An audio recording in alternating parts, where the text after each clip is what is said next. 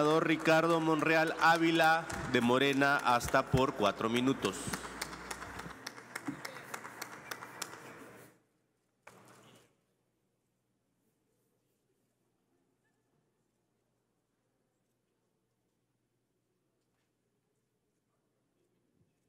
Ciudadano presidente, ciudadanos legisladores y legisladoras, debo de alegrarme que el presidente de Morena, Mario Delgado, se ha convertido en un referente obligado también para la oposición. Quiero expresarles que he escuchado en este debate citas inciertas. También he escuchado imprecisiones peligrosas. Y una recomendación que haría a quienes defienden a la Corte de manera jactanciosa y jubilosa es que deberían tener mesura, deberían hacerlos reflexionar, deberían asumir una actitud más prudente, porque debemos reconocer que está instalado un diferendo entre los poderes de la Unión. Y si Permítame el orador. Diputado Reginaldo, ¿con qué objeto? Para solicitar a través de ustedes, si el orador nos permite, que le realicemos una pregunta. Senador Monreal, ¿acepta una pregunta? Pues e, es mi paisano, por supuesto que sí. Gracias, paisano. Un minuto. Este, eh, no hay duda de que estamos trabajando una transformación en México. En esa dirección, ¿no le parece un exceso de los ministros de la Corte su resolución? y en esa misma lógica no considera que estén lejanos de la realidad nacional que estamos viviendo México? Por su respuesta, muchas gracias. Tiene dos minutos para responder, senador Monreal, y luego continuará sí, su tiempo. Miren, eh, a mí me preocupó las palabras de la ministra Piña ayer. Dijo ella, la Suprema Corte de Justicia de la Nación ejerció el control parlamentario en sede jurisdiccional con efectos invalidantes. Y yo creo que no es así. Y por eso el Poder Legislativo puede ejercer el control jurisdiccional en sede parlamentario con efectos transformadores. Por eso yo hablaba y me da pie, a pesar de que no hilvané ya la última parte de la intervención, sí me da pie a decirle que yo les pido mesura a quienes defienden a los ministros de la Corte. Soy partidario de la división de poderes, que quede claro, pero no aplaudo, no aplaudo los excesos, el derroche, tampoco aplaudo el abuso y los privilegios privilegios excesivos. Déjenme solamente decirles algunos. Yo investigué desde el año pasado 40 excesos. Ustedes son legisladores y yo, y cuando salgamos no tendremos un solo cinco de haber, ni de sueldo, ni de pensión, después de varios años de estar trabajando aquí, más horas que ellos, mucho más horas que ellos. Pero solo es, recuerden lo que les voy a decir, sueldos 300 mil pesos por mes. Aguinaldo, casi 600 mil pesos. Prima vacacional, casi 100 mil pesos. Un fondo para comer en restaurantes de lujo, casi 80 mil pesos por mes. Un comedor especial de la Suprema Corte donde pueden ordenar a la carta alimentos y bebidas alcohólicas. Escúchenlo bien, un presupuesto de 5 millones 500 mil pesos mensuales para contratar personal de ellos por mes. Dos vehículos blindados tipo suburban con valor acumulado de 6 millones que se renuevan cada dos años. pago por riesgo de más de 640 mil pesos, pago por gasolina por más de 22 mil pesos por mes, apoyos ilimitados para el pague de peajes en autopistas. Algunos ministros cuentan con servicio de protección, seguros para autos y casa habitación a cargo de la Corte. Las ministras y los ministros también cuentan con atención especial para reservaciones en restaurantes, trámites de licencias, visas y cualquier otro trámite. Atención personalizada en el aeropuerto. Yo les aseguro que todos tienen que formarse, todos ustedes tienen que formarse. Ellos no lo hacen. De manera directa, ya tienen su boleto, nadie los molesta, nadie los perturba. Dos periodos vacacionales cada año de 15 días hábiles. Tienen equipos de cómputo e impresión en su casa, en su oficina y donde estén trabajando. Seis teléfonos celulares de gama alta para ministros y familiares, para personal de apoyo con plan ilimitado, con datos que se renuevan cada año. Tres iPad con servicio de Permítame, internet. orador. Papelería computarizada. Permítame, orador. Eh, diputada Carolina Villano, ¿con qué objeto? darle a través de usted al orador si me permite hacerle una pregunta. ¿Acepta la pregunta, senador? Sí, claro. Adelante un minuto, diputada Villano, por favor, y dos para responder. Gracias, senador Monreal. Independientemente que estoy absolutamente de acuerdo que no debe haber excesos en ningún poder, eh, también ustedes tienen la decisión de acotar esto porque son mayoría. Eso es la primera cuestión. La segunda cuestión es que efectivamente yo soy de las que cree que los poderes judiciales locales tienen eh, un trato inequitativo con respecto al Poder Judicial Federal. Pero ¿qué tiene que ver esto con la decisión de los ministros? Son dos cosas muy distintas y tenemos que separar el debate. Es decir, tener un debate para este tema que usted está tratando, que es muy importante, pero ¿qué tiene que ver eso con la decisión apegada a la legalidad de los ministros de la Corte? Gracias por su respuesta. Le respondo, diputada, tiene que ver todo, porque ustedes se desnudan completamente, se entregan completamente por proteger a una casta de privilegiados, porque ustedes actúan con exceso, porque ustedes no están midiendo la realidad que está sucediendo en la calle y lo que está pasando en estos órganos deliberativos. Lo que estoy expresando es que deberían actuar con mesura los que aplauden jubilosos y con exceso la resolución de la Corte. Lo que estoy diciendo es que deben de actuar con prudencia y ecuanimidad, porque en la Corte, en el Poder Judicial está instalada una casta llena de privilegios. Solo le he mencionado 15, son 40. Usted y yo, o al menos en el Senado, renunciamos a los seguros de gastos mayores por austeridad. Ellos no. Ellos pueden incluso incluir hasta los nietos, esposa, hijas, hijos y nietos a cargo del erario. No me parece que esté desprendido y desvinculado el debate de quienes pide una resolución y su casta, su pertenencia a los privilegios que no quieren renunciar a ellos. Ese es el tema de fondo y ese es el debate al que yo los quiero llevar.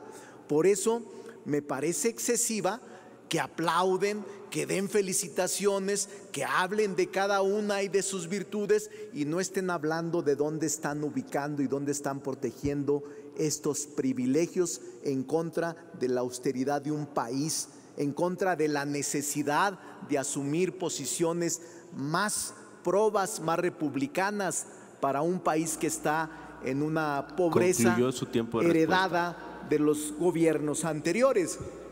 Ese es el tema, diputada, y sí tiene que ver, Por eso estoy refiriendo los grandes privilegios de una casta aislada de la sociedad que no está pensando por la gente de a pie y que la gente debe de saber estos privilegios. ¿Sabe usted? Usted va a salir ya pronto, al menos que se relija, igual que yo. Pero usted al siguiente mes tiene que conseguir trabajo para poder sobrevivir. Ellos no. Ellos tendrán casi el 100% y además la suburban se las pueden llevar a su casa. Y además le falta enunciar los otros 25 privilegios que tienen. ¿No les ofende esto? Les pregunto. ¿No les ofende esto? Es increíble que no tengan la sensibilidad hacia afuera, hacia la gente que sufre, que no tiene salud, que no tiene con qué comer, que su salario es insuficiente. ¿Cómo pueden seguir aplaudiendo como focas una decisión del Poder Judicial que afecta la credibilidad de un pueblo y que aleja a un poder fuera de la realidad? Ese es el debate y no está inconexo a lo que estamos debatiendo ahora. Senador, eh, el reglamento, las reglas aprobadas solo permiten dos preguntas por orador. Tengo anotados a la diputada, a la senadora Kenia, al diputado Yaven, al diputado Reginaldo. Lo que procede es que esta presidencia consultará a la Asamblea si autoriza que se formulen preguntas adicionales, estas tres que tengo anotadas. Secretaría, por favor, realice la consulta.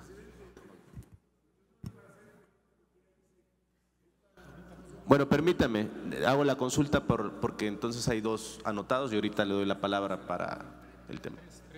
Tres. Claro que sí, presidente. Se consulta a la Asamblea en votación económica si autoriza que existan más preguntas. Quienes estén por la afirmativa, a favor de manifestarlo. Por la negativa. Sí se autoriza, presidente. Gracias. Antes de continuar con las preguntas, tiene la palabra el diputado Reginaldo. ¿Con qué objeto? La moción de orden. Dígame. o- ojalá que a través suyo nos pueda ayudar que si el, el orador autorice, porque como no le estaba dando tiempo de exponer los 40 privilegios de estos ministros que defiende sobre todo la senadora Kenia, que se acepte que se inscriban en el diario de los debates y que los hagamos públicos. Eh, otra moción de orden. Va una moción.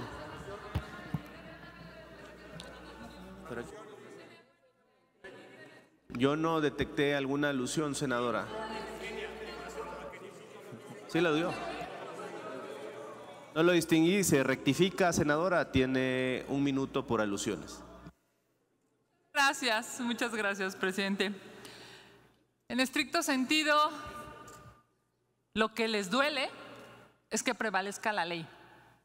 Lo que les molesta es que la corrupción brutal de López Obrador y de Morena se está deteniendo desde la Corte. Lo que les cala es que hubo nueve ministros decentes. Hubo dos que no, porque ya sabemos que están dispuestas al régimen.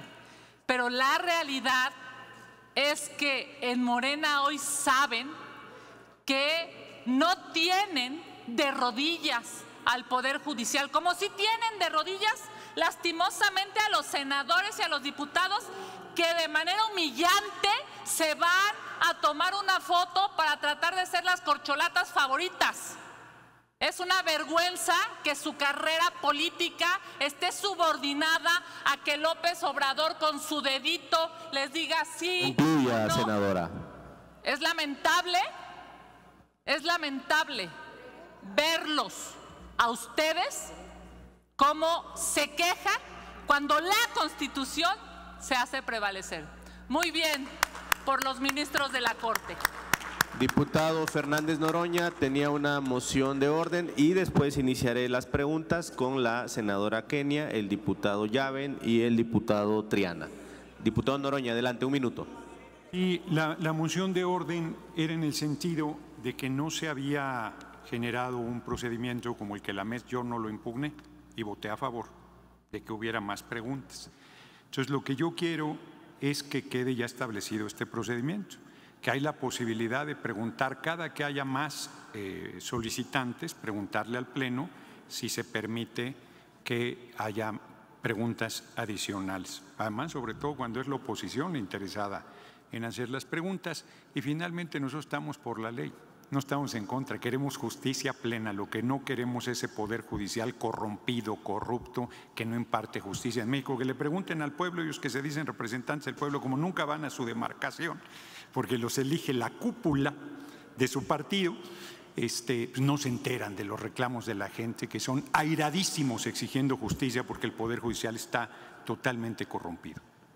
Se toma nota de su petición para que en las sucesivas intervenciones, si hubieran más oradores que quisieran preguntar, se consultara al Pleno. Ahora consulto al orador si acepta que le formulen las preguntas la senadora Kenia, el diputado Yaven y el diputado Triana. ¿Acepta el orador? Sí, claro, mucho gusto. Iniciamos entonces, diputada Kenia López, un minuto para formular la pregunta y dos para responder, senador Monreal.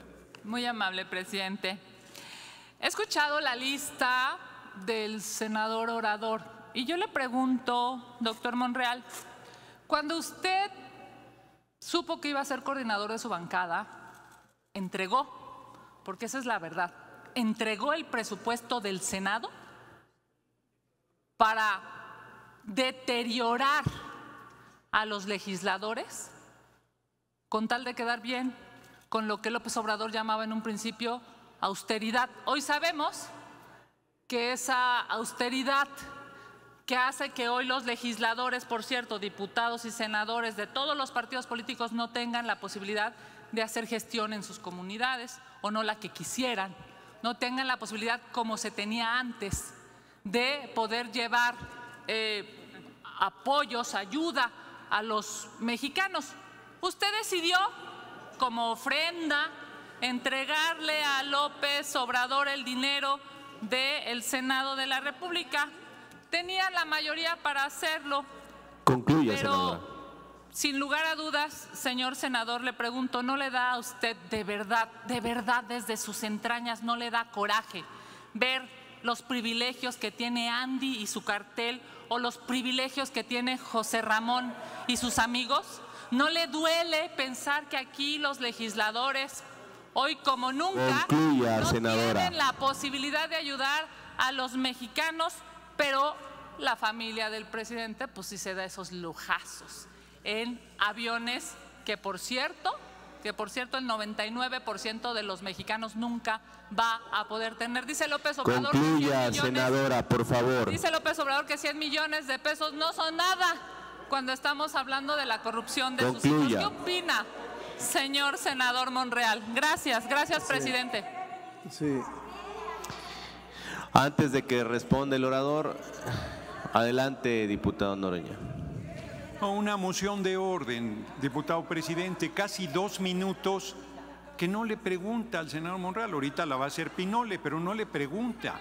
Intriga en contra del movimiento, las mentiras cotidianas. Aprovecho para en esta moción de orden decir, no somos iguales, el pueblo va a decidir. Somos un movimiento de hombres libres, un movimiento democrático, les pese lo que les pese y les duela lo que les duela. Larga vida al compañero presidente, larga vida al movimiento y larga vida al pueblo de México. Se hace un llamado a toda la Asamblea para respetar las reglas del tiempo. Hay reglas establecidas para formular preguntas, para contestar, para las exposiciones y... Eh, el ideal, lo óptimo es que todos nos apeguemos a este tiempo. La presidencia hará los llamados a los 15 segundos, a los 30 segundos y a los 45 segundos si se exceden de ese tiempo. Adelante, senador Monreal, tiene dos minutos para contestar y luego le formularán otra pregunta. Muchas gracias, presidente. Senadora Kenia, cuando fuimos a las urnas en el 2018, una de nuestras propuestas fue la austeridad republicana. Y cuando llegamos, aplicamos ese principio aquí en la Cámara de Senadores y logramos, por cierto, un acuerdo por unanimidad. Usted también lo votó. Todos los partidos lo votaron. Eh, si me permite, cuando usted habló yo no la interrumpí y siempre le he respetado. Pero déjenme decirles lo siguiente, yo no me arrepiento de eso porque se ahorraron recursos en casi 1.500 millones de pesos.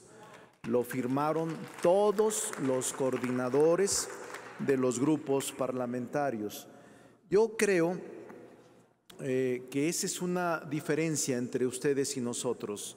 Nosotros sí estamos por la austeridad y ustedes no. Aplauden los lujos y los privilegios de los ministros de la Corte y no los critican, sino quisieran ser como ellos. Nosotros repudiamos ese tipo de prácticas y ese tipo de mafias o de élites del poder que lucran con el erario del pueblo. Los 40 privilegios son escandalosos. Son 40 privilegios tangibles. Yo no sé por qué les aplauden a personajes que en su vida cotidiana no pueden ser ejemplo de virtud moral, de virtud republicana y de virtud de austeridad que este país exige. Yo me siento tranquilo porque solo percibo mi dieta. Y se los digo a todos, solo percibo mi dieta. Todos perciben prerrogativas y apoyos cuando son presidentes de comisión. Y también a pesar de la austeridad, senadora Kenia, sabe usted que no es nada despreciable lo que gana un senador. Nada despreciable y no nos falta razón para recibir críticas. No falta razón a la población para recibir críticas por nuestros excesos, a pesar de que saldremos sin ahorros, sin dinero, sin recursos y sin posibilidades de seguir eh, viviendo los que vivimos de nuestro trabajo. Gracias. Diputado Yaven Abarca puede hacer su pregunta hasta por un minuto y nuevamente dos minutos para responder, senador Monreal. Gracias, presidente. Al orador, al senador Monreal, eh, decirle que este movimiento transformador en donde Hemos escuchado al pueblo de México decir que no más burocracia dorada, no más privilegios, excesos, no más opulencia, no más olvidar al pueblo que nos elige.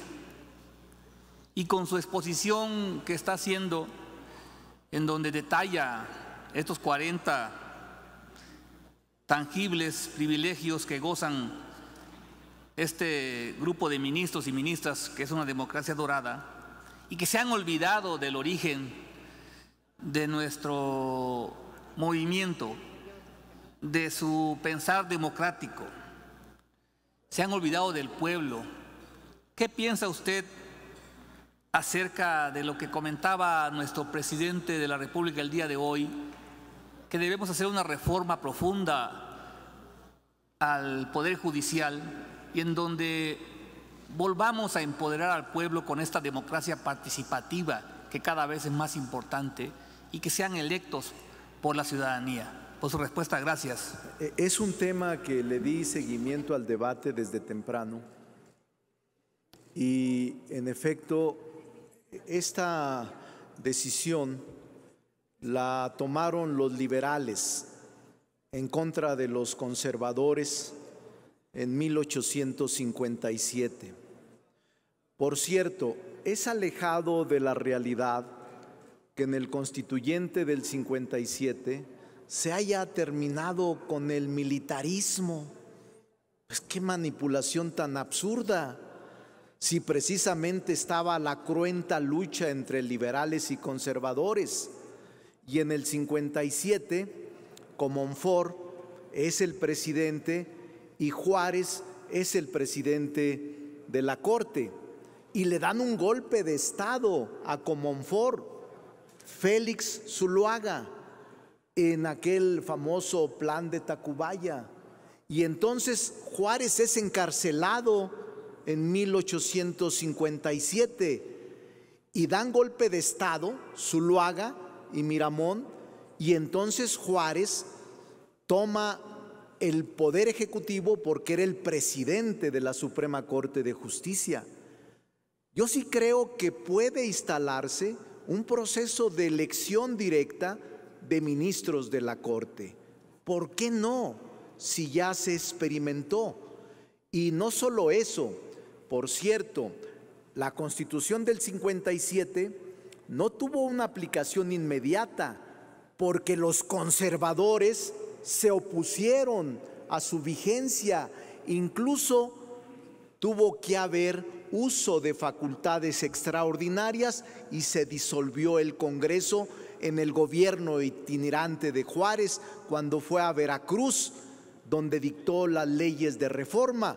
Entonces decir que la constitución del 57 evitó el militarismo, no, al contrario, era una lucha cruenta entre conservadores y entre liberales que al final resistió Juárez junto con Melchor Concluya su Ocampo, respuesta, senador. junto sí.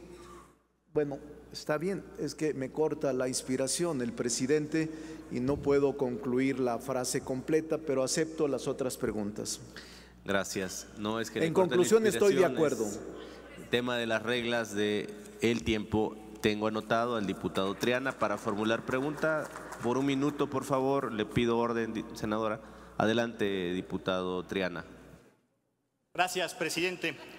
Doctor Monreal, le voy a leer una frase, a ver si usted la identifica y a ver si identifica quién la dijo. Desde la Constitución de 1857, los sueldos de jueces, magistrados y ministros están garantizados para no poder ser disminuidos, por lo que hoy, para los poderes judiciales, la línea es que no hay línea. Y esto no viene de hoy, viene del siglo XVII en Inglaterra. Pueden consultar cualquier fuente. La austeridad no debe aplicar en este caso. Ya se lo dije al presidente, pero él se va a mantener firme en su postura, lamentablemente. Sí. Olga Sánchez Cordero, Sí, secretaria de Gobernación, sí. presidenta del Senado de la República. Usted enumera una serie de privilegios y yo lo comparto, ¿eh? Es falso que estamos defendiendo privilegios de nadie, no sean mentirosos. Por supuesto que no compartimos esa parte.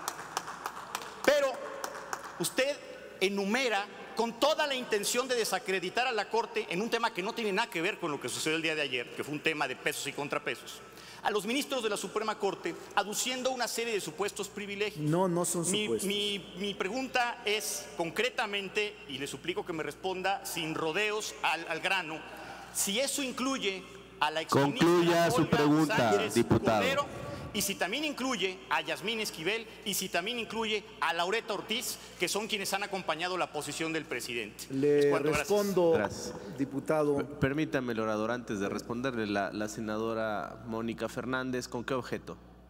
Nada más un favor, presidente, puede ser como una moción de orden con todo respeto, pero si interrumpen al orador cuando está dando su respuesta por excederse el límite de tiempo de la respuesta, yo le pediría que fuera el mismo trámite y la misma situación para quienes hacen la pregunta y aprovechan para hacer uso de la palabra con otros fines. Gracias. Así lo hizo esta presidencia cuando se excedió el orador que estaba formulando una pregunta 15 segundos, se le hizo el llamado para que concluyera.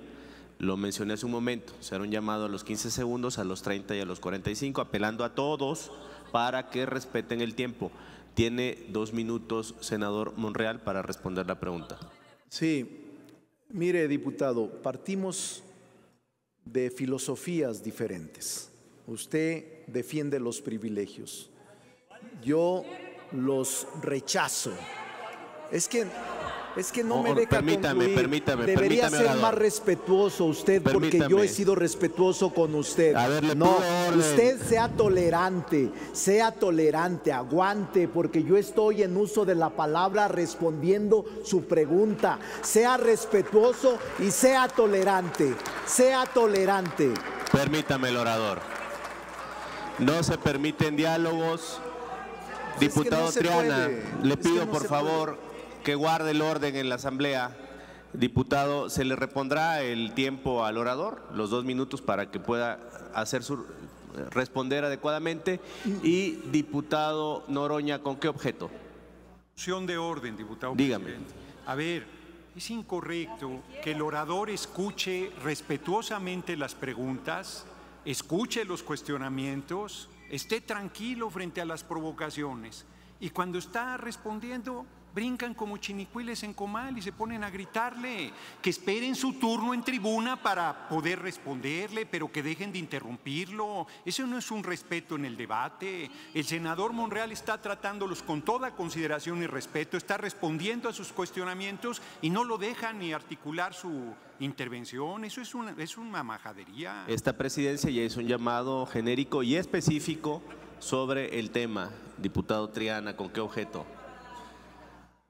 De orden, presidente, rápidamente. Tiene, tiene razón el diputado Fernández Noroña y, lo, y yo lo, de, verdad, de, con toda sinceridad, yo lo suscribo.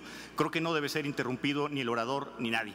Lo único que quiero comentar es que mientras yo estaba formulando mi pregunta, fui interrumpido en un par de ocasiones por el orador.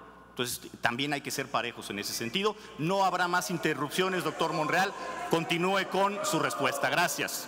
Responda a dos minutos, senador Monreal, por favor. Bueno, miren, Partimos, partimos de concepciones políticas diferentes.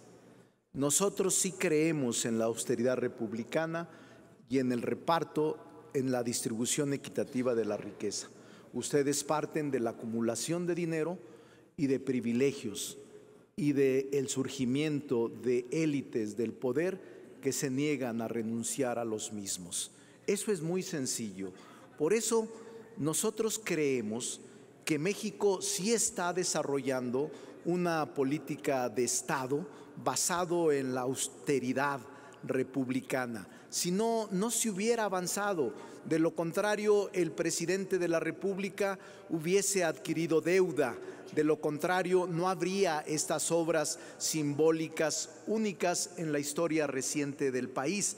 Y sobre su frase, que me dice, dijo la senadora Olga Sánchez Cordero, le voy a recordar algo que usted mencionó hace rato, Montesquieu, en el espíritu de las leyes.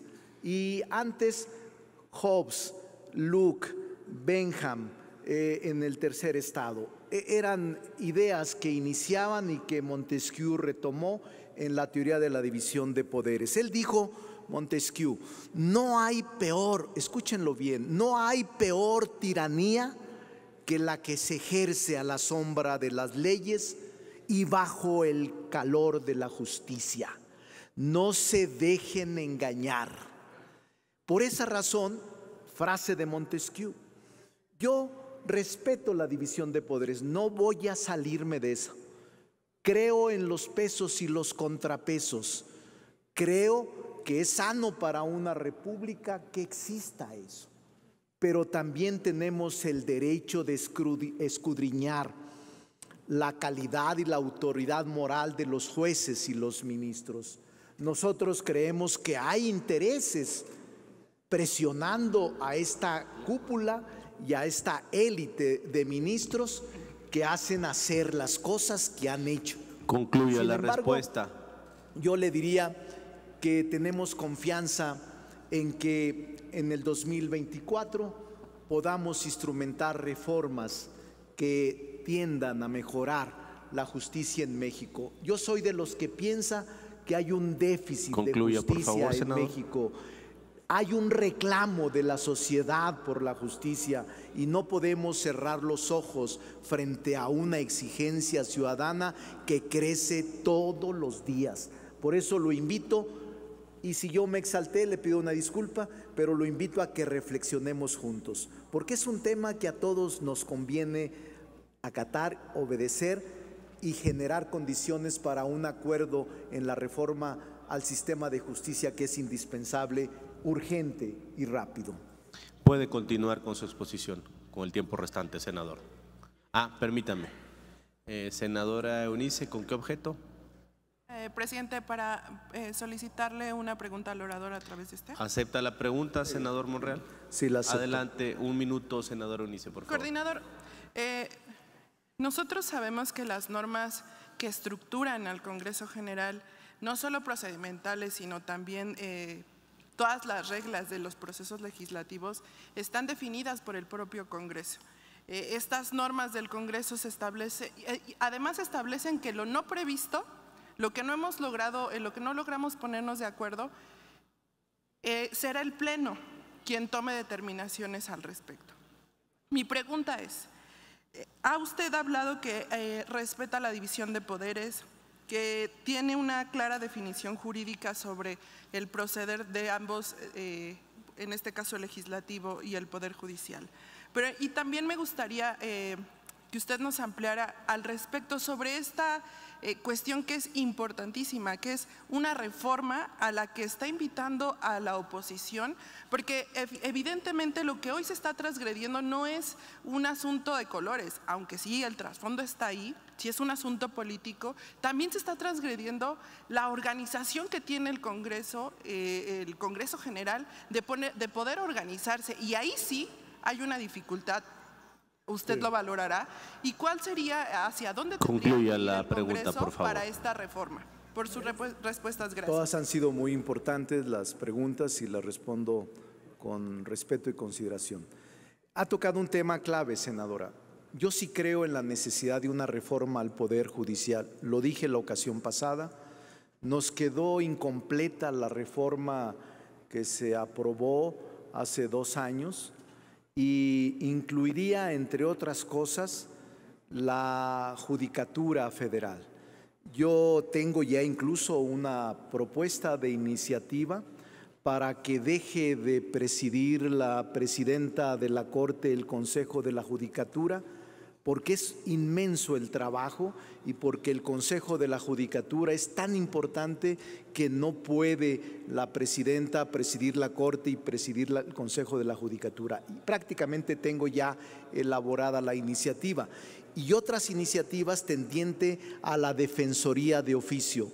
La Defensoría de Oficio no debería estar bajo el mando de la Corte, debería ser autónoma toda la Defensoría de Oficio debería ser un ente autónomo, así como el nombramiento de jueces y magistrados que ahora obedecen a ciertos niveles de cooptación y de privilegios eh, recíprocos entre ministros, debería en la ah, propia auscultación, en la promoción y en el nombramiento de magistrados y de jueces de distrito, operar otro sistema yo recuerdo muy bien, y lo acepto, que en esta reforma del Poder Judicial insistió mucho el senador Germán Martínez en que era incompleta.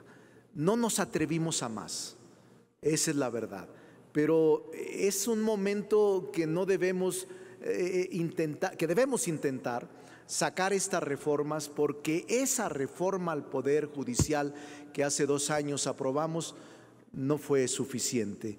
Y ahora sí hay una crisis en el Poder Judicial fuerte. Y este eh, diferendo que tenemos sí nos instala en una crisis entre los poderes. Por eso hay que apuntar con mayor ecuanimidad y si yo refiero los privilegios, no es para poder contrastar a un poder, sino para decirles, oigan, sean moderados, y sean suficientemente autocríticos para que puedan de motu propio renunciar a este cúmulo de privilegios que el pueblo y el gobierno les otorga, más bien el pueblo les paga a través de los impuestos. Por cierto, presidente, le solicito plasme los 40 privilegios junto con un, este, un documento que había elaborado desde meses pasados para que se inscriba en el diario de debates. En la se ordena la Secretaría de las Áreas Muchas gracias que inscriba lo solicitado. ¿Puede continuar con su exposición?